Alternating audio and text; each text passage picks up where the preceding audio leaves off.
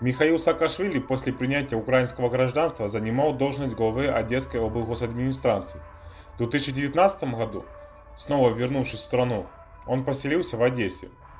На своей страничке Facebook он опубликовал статистику авторитетнейшей французской компании Ipsos, которая провела исследование общественного мнения по всей Украине.